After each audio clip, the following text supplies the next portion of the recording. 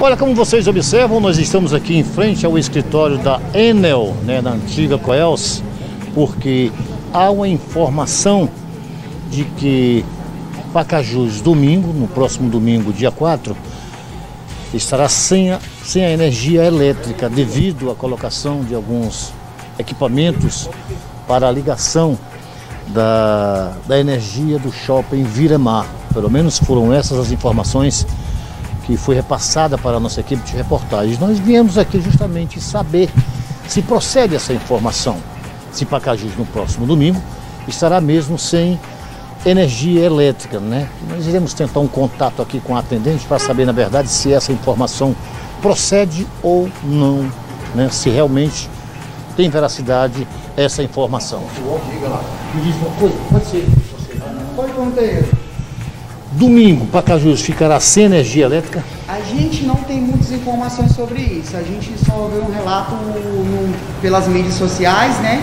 Que vai ter uma implantação de uma rede elétrica, ah, alguma alteração na rede elétrica para a banda do Viramar. Isso, né? Por conta da. Acho que vai começar a implantar energia lá para a banda da, do shopping, né?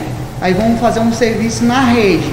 Aí com isso vai ter um, uma provisão de corte, entendeu? De encerramento balanceado, assim, uma parada de energia por conta do serviço da rede. Para não ter algum dano elétrico. Para vocês aqui o Irene ainda não chegou, Nada né? ainda. Nada, né? São né?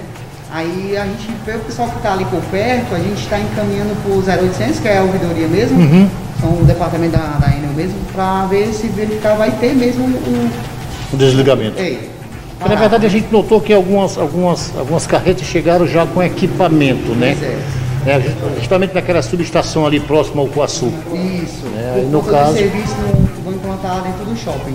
Então podemos dizer que é uma informação extraoficial, né? Isso, porque assim, a gente, eu, eu- por mim mesmo eu só sei por conta do- das redes sociais. Uhum. Não teve nenhum balanceamento até agora sobre esse informativo da paralisação de energia na, na rede elétrica Pacajus, não. Até agora não, né? A gente não recebeu ainda também informativo. A gente viu pelas redes sociais, como o Olho Horizonte, com o Eduardo, colega nosso. Chamada- Dentro do, do, do, é, do Viramar mesmo, eles estão implantando um informativo, uma cartinha. Tu acha que no Viramar tem essa informação? Tem, Tem? tem. O- possivelmente o proprietário do, do Viramar tem esse informativo. Porque eles, quem, quem eu vi essa informação dentro do, do Instagram do Viramar. Eu falei com o Alice, o Alice Wallace. Rocha, né? Isso. Obrigado, meu filho. Bom dia. Tá aí, gente. Nós obtivemos essa informação aqui oficialmente.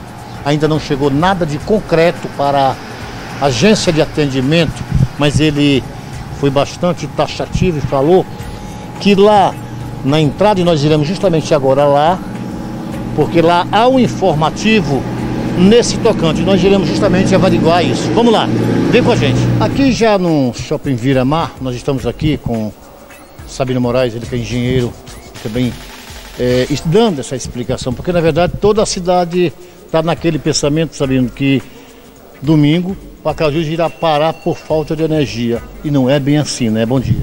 Bom dia, pessoal. Não, a Enel eh, não vai faltar energia em Pacajus de jeito nenhum.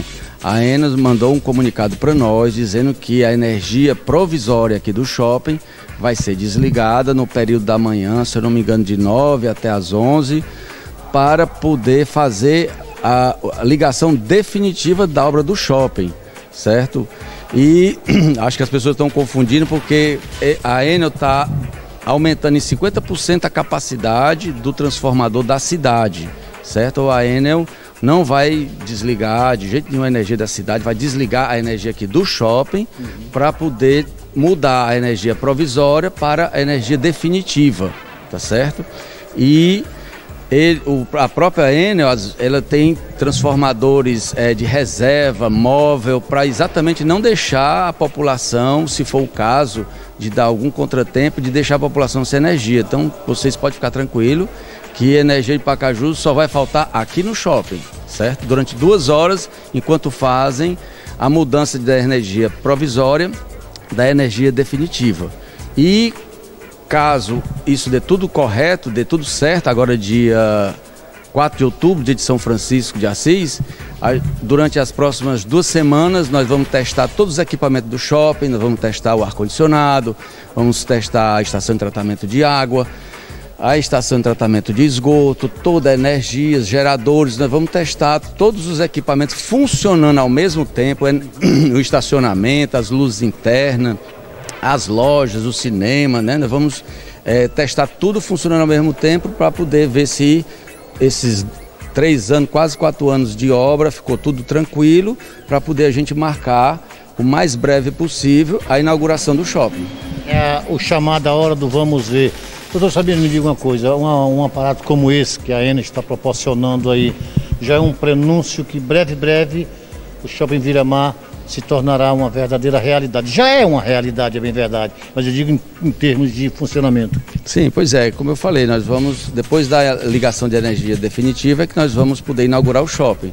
Só podemos dizer uma data precisa depois que a Enel realmente ligar a energia e dizer, olha, está tudo ok, pode ligar seus equipamentos, suas máquinas, então nós vamos ligar tudo e ligando tudo, dando tudo certo, nós vamos marcar o mais breve possível a data, porque nós estamos com toda ansiedade positiva, né, de trazer a inauguração do Shopping Viramar. Qual seria a mensagem que o senhor deixaria para os lojistas aqui da região? Bom, para os lojistas, quero dizer que está chegando um novo tempo, certo? Quem conhece aqui o shopping vê que é um, é um local de muita prosperidade. Nós temos aqui o, o, Samuel, nosso cinegrafista, depois ele mostra um shopping todo em granito, todo climatizado, com 1.500 vagas de garagem. Os nossos preços são os preços justos de aluguel, tá certo? A gente está alugando, nós temos aluguel de R$ 1.600 a R$ 6.000 o aluguel das lojas, entendeu? E vai ser um novo tempo para a população ter o seu lazer, ter o local de que possa estacionar com mais tranquilidade. Nesse momento agora, o próprio Santander, né, vocês viram, estava aqui querendo uma, uma, alugar uma loja para colocar o Banco Santander.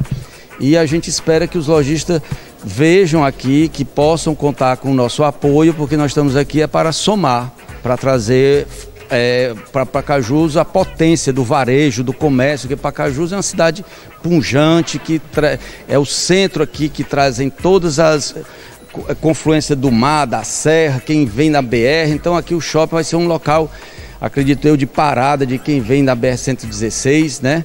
E o que a cidade de Pacajus precisava, um local de lazer, cultura e o comércio forte, né?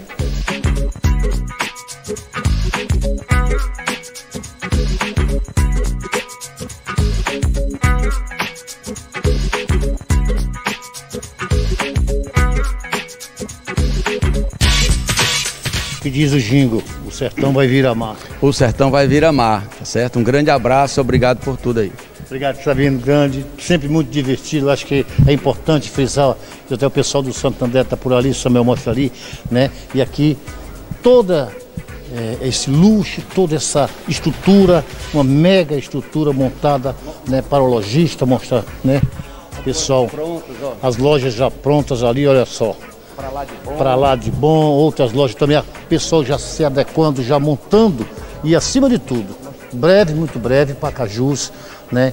Recebendo definitivamente o shopping Viramar, que fica aqui logo na entrada no município de Pacajus. Foram essas as informações, com imagens de Samuel Vitor Chico Neto para o programa Ponto a Ponto na TV.